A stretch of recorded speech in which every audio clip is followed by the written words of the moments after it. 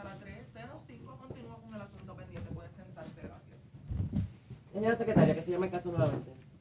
Buen día para vista para dictar sentencia. Se llama el asunto número 1 en SCR 2019-00469 al 471 Jensen Medina Cardona. Licenciado Jorge Gordon Menéndez, licenciado Orlando Cameron Gordon, licenciado Jorge Gordon Pujol.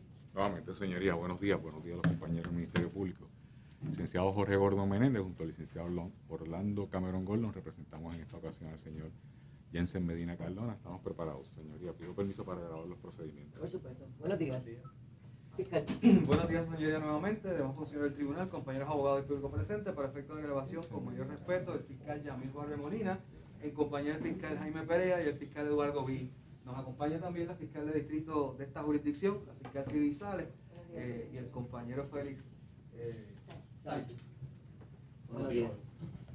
Le pregunto a los compañeros si tuvieron oportunidad de leer el informe de sentencia. Eso ha sido, señoría. Nosotros, perdón, el que interrumpí al compañero. Discúlpeme, compañero. Así es, de parte de la defensa, señora. Pues tuvimos la oportunidad de leer y compartir el informe con el señor Medina Cardona. De igual forma, su señoría, tuvimos oportunidad de examinar el expediente del el informe.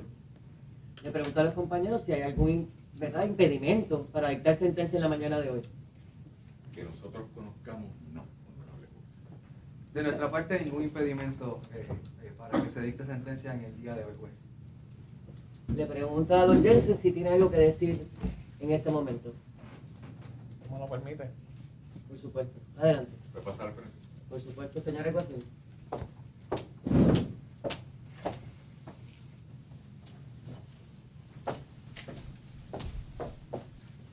Buenos días, honorable. Buenos días. Público presente. Eh, gracias por darme la oportunidad de expresarme.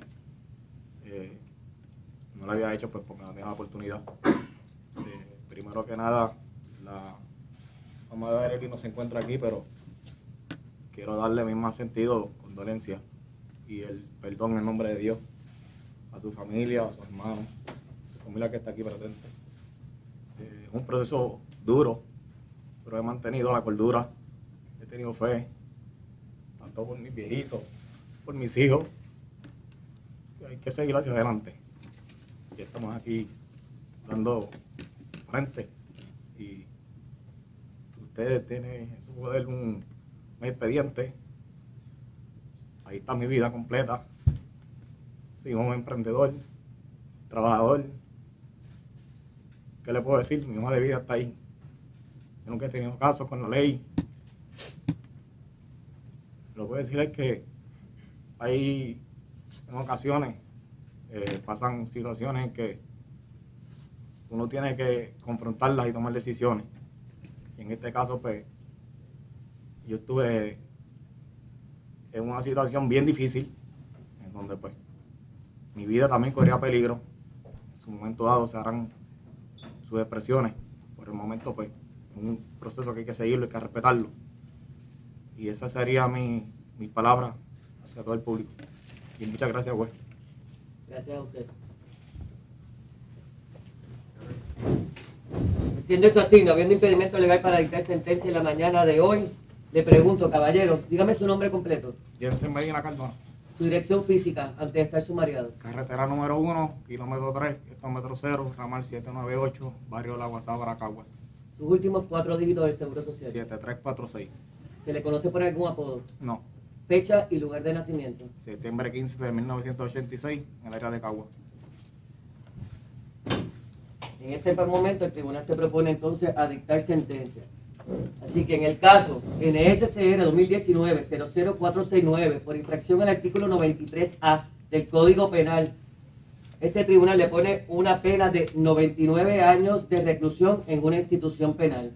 En el caso NSCR 2019-00470 por infracción al artículo 5.04 de la ley de armas, este tribunal le pone una pena de 10 años y por disposición de ley le aplica el artículo 7.03 de la ley de armas con el agravamiento de la pena a los efectos que se duplica la, pena ya establecida para una, una pena de 20 años en una en- de reclusión en una institución penal.